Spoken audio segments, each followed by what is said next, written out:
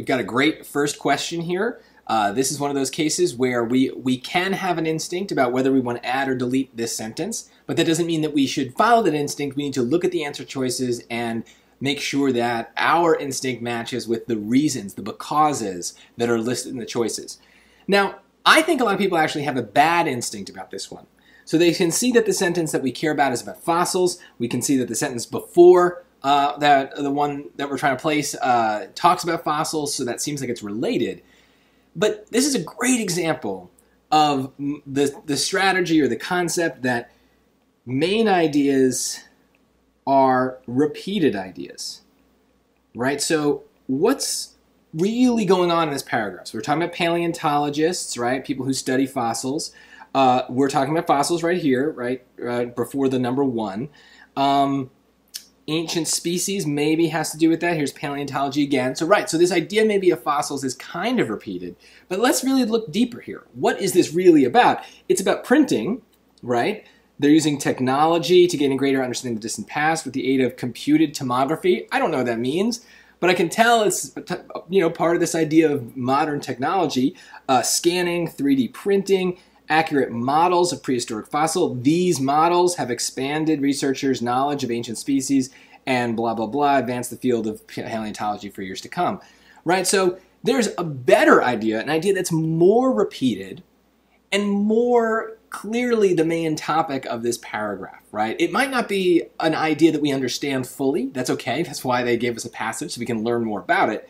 But it's a it's still the more repeated, more important idea and the fact that it's repeated both before, let's see here, I'll highlight now, before and after the one tells me that if I'm going to insert a sentence here, it really better be about the models. It really better be about the technology. And if we look, fossils provide paleontologists with a convenient way of estimating the age of the rock in which the fossils are found. There is nothing about the technology in this sentence. So it is not related to the main idea of the paragraph or of the two sentences that we want to inserted between. So a lot of people's instincts here are wrong because they just look at that word fossils, a familiar word, and they just kind of don't read any further than that. But we need to make sure it fits with the paragraph, and it does not fit with it. So it is not a useful fact. It is a kind of stupid definition of what a fossil is. We already know that, and so we can just kind of move on. Um, so that gets us to between choices C and D, and uh, the answer is going to be C here.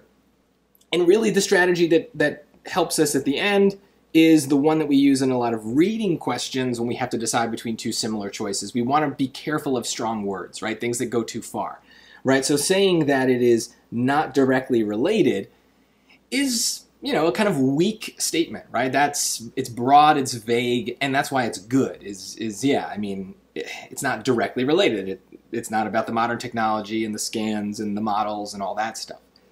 Um, D, though, it undermines the main claim of the passage. That's a little too strong um, because it's not like including this sentence is going to attack the point of the paragraph. It's not really like an argument against something that someone in the paragraph has already said.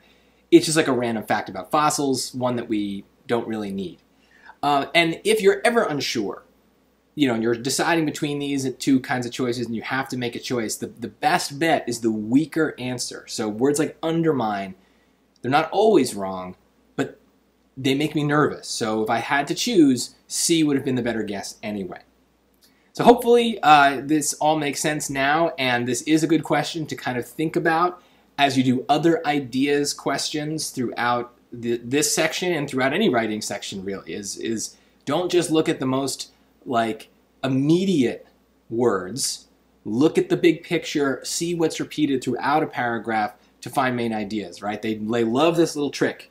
This trick here of fossils to fossils. That is not a coincidence. And if you know that those things exist, you're less likely to fall for those kinds of traps.